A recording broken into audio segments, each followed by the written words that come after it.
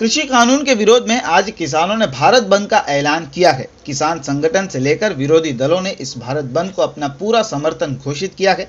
भारत बंद को लेकर हर जगह अलग अलग तस्वीरें सामने आ रही है।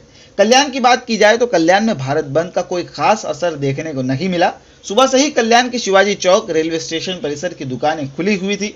कुछ दुकानदारों ने अपनी दुकानें बंद रखी थी। वहीं पर लॉकडाउन में इतने दिनों तक दुकानें बंद होने के चलते कुछ व्यापारियों ने भारत बंद का समर्थन करने में कोई खास दिलचस्पी नहीं दिखाई। केवल कृषि उत्पन्न बाज़ार समिति के व्यापारियों ने बंद को अपना पूरा समर्थन दिया है। बाज़ार समिति आज पूरी तरह से बंद है। वही शहर की यातायात भी पूरी तरह से सामान्य है। हालाँकि रिक्शा टैक्सी संगठन ने इस बंद को समर्थन दिया है, लेकिन उसके बावजूद सुबह से ही सड़कों पर रिक्शा और टैक्सी का आवागमन जारी है। कल्याण डोंबिवली में भारत बंद को मिला जुला प्रतिसाद मिलता हुआ दिखाई दिया।